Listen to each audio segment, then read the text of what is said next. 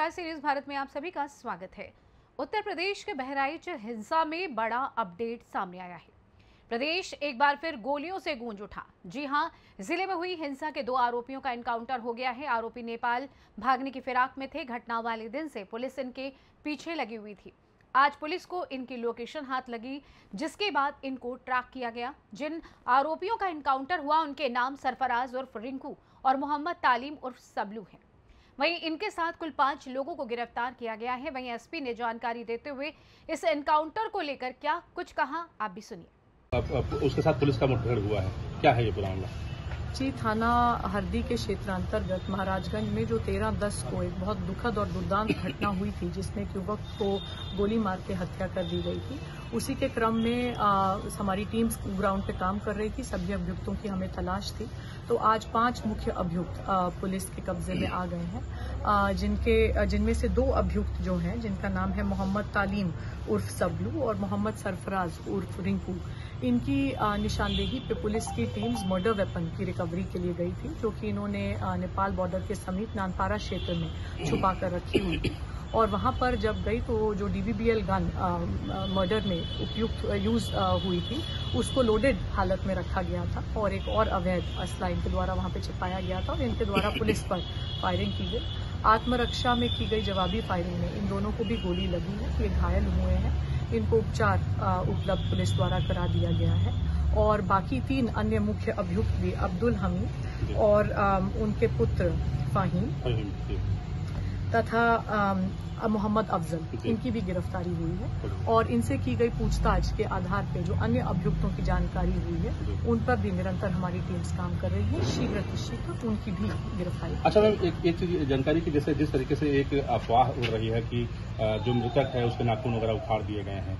कई तरह की भ्रामक खबरें चल रही हैं। जी पोस्टमार्टम के अनुसार मृतक की मृत्यु गोली लगने के कारण हुई है और अन्य जो चीज़ें बताई जा रही हैं वो सब भ्रामक है जिनकी पुष्टि पोस्टमार्टम से नहीं हो रही है। क्या लग, क्या लगता है कि जैसे मुख्य आरोपी तो सभी पकड़ लिए गए हैं लेकिन ये छापेमारी क्या अभी जारी आपकी रहेगी या? जी बिल्कुल जारी हम्म। रहेगी। जैसे जैसे नए तथ्य आ रहे हैं जो भी कोई लोग इसमें समर्थक प्रोत्साहक के रूप में या इसको पूरा प्लान करने में इनको संरक्षण देने में संलिप्त पाए जाते हैं। सभी के खिलाफ ठोस कार्रवाई की जाएगी। इस घटना में संलिप्त सभी अभियुक्तों के खिलाफ रासुका के तहत एवं अन्य ठोस कार्रवाई जल्द ही अमल में लाएगी। कहाँ पर गोली लगी है इन लोगों को? जी अभी अस्पताल पहुँच रहे हैं। फिर मौके पर पहुँच के फिर आगे की सूचना थैंक थैंक यू वहीं इनकाउंटर को लेकर पुलिस मुख्यालय में बड़ी बैठक चल रही है। इस बैठक में एडीजी लॉ एंड ऑर्डर सहित कई बड़े अधिकारी मौजूद हैं। मामले में ADG law and order Amitabh Yash ने बताया कि अभी कैजुअलिटी की जानकारी नहीं है, लेकिन पुलिस द्वारा पाँच आरोपी पकड़े गए हैं। पूरा मामला नेपाल सीमा के हांडा बसेहरी नहर के पास का है। वही घायल आरोपियों का इलाज करने वाले सामुदायिक स्वास्थ्य केंद्र नानपारा के डॉक्टर ने कहा कि दोनों के पैर में गोली लगी है। एक के दाएँ और एक के बाएँ पैर में बुलेट एग्जिट पॉइंट नहीं मिला है। गोली अंदर फंसी हुई है ऐसे में उन्हें जिला अस्पताल रेफर किया गया है। सुनिए। डॉक्टर साहब क्या नाम था आरोपी और कहाँ गोली लगी है? दो व्यक्ति आए थे हमारे यहाँ जो दो लोग एक सरफराज करके नाम है और एक तालिम करके मोहम्मद तालिम। तो दोनों के एक के दाएँ पैर में एक के बाएँ पैर में। क्या स्थिति है सर?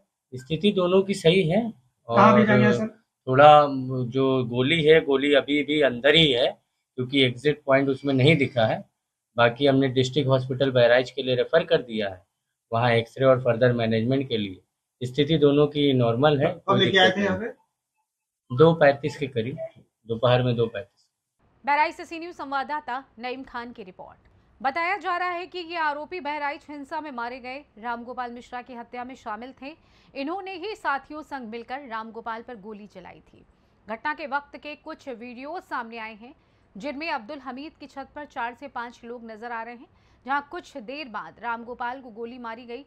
खुद सीएम योगी ने मामले को संज्ञान में लिया था। फ़िलहाल हालात सामान्य हैं। फ़िलहाल के लिए इस खास रिपोर्ट में बस इतना ही। देश दुनिया की तमाम खबरों की जानकारी के लिए आप देखते रहिए सी न्यूज़ भारत। हर खबर आपके साथ, आपके हाथ।